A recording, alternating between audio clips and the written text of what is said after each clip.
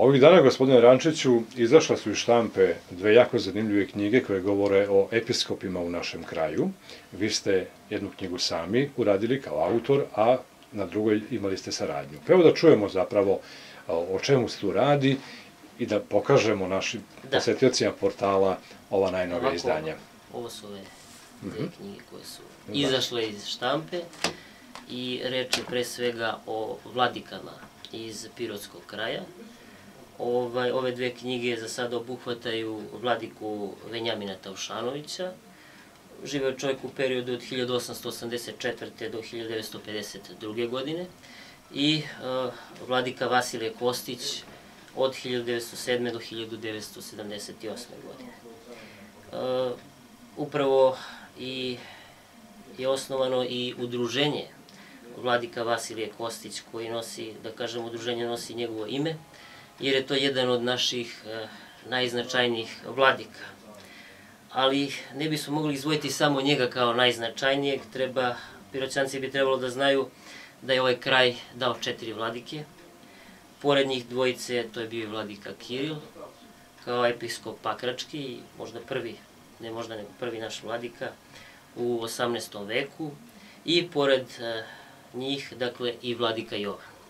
Bla, vas, blaženo pokojeni vladika Niški. Šta je vas motivisalo da se odlučite da jedno ovakvo štivo obrađujete, da takav materijal i da, eto to, sve oko fino izdate u knjigu?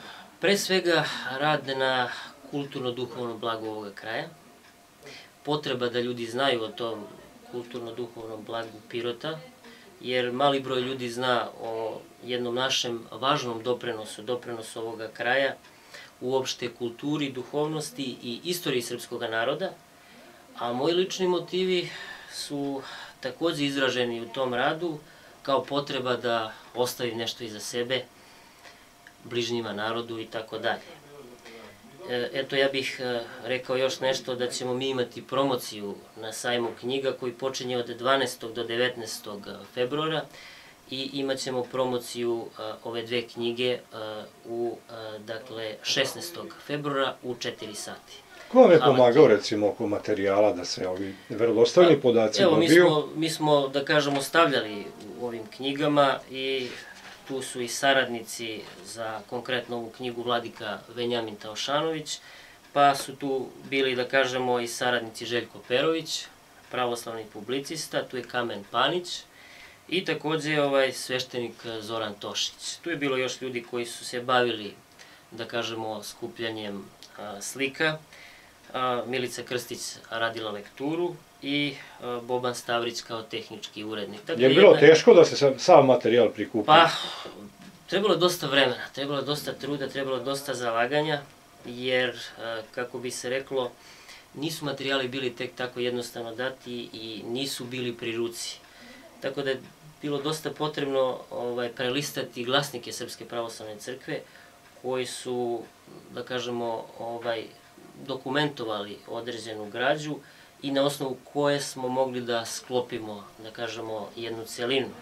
Što tiče Vasilije, e, Vasilija Kostića, o njemu su već objavljivane neke knjige i bile su dostupne javnosti, a što se tiče vladike Venjamina Taušanovića, do sada nemamo jednu celovitu knjigu i celovitu građu i evo sada prvi put, da kažemo, možemo da predstavimo čitocima ovako nešto.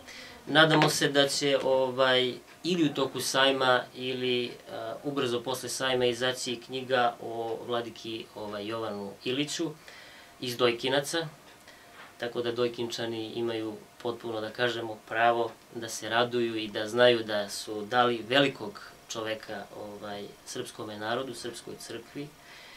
Takođe treba reći da ovaj, vladika Jovan potiče iz uh, jedne ugledne ovaj, porodice Ilića, i da takođe njegov otac Apostol Ilić dao, da kažemo, veliki doprinos u periodu kada je trebalo razgraničiti ovaj teritoriju Srbije od, da kažemo, Turske posle Berlinskog kongresa. On je bio u komisiji za pravljenje granice za razgraničenje tog područja i jedan od e, značajnih ljudi koji je uspeo da neka sela povuče u okviru, da kažemo, teritorije ovaj, tadašnje države. jer je bio neki predlog da Dojkinci budu podeljeni na dva dela i da još neka sela pripadnu tada ovaj, Turskoj carevini. Eto, otprilike, čitac se moći da nađe u delu knjige i nešto su mi naznačili kao pouke, gde ima priliku da se upozna sa živom rečju i episkopa Vladike Vasilija i episkopa Venjamina Taušanovića i otprilike očekujemo da će rad se okončati na leto kada bi trebalo, nadamo se, uz Božju pomoć da izađe i četvrta knjiga, a to je o episkopu Pakračkom Kirilu.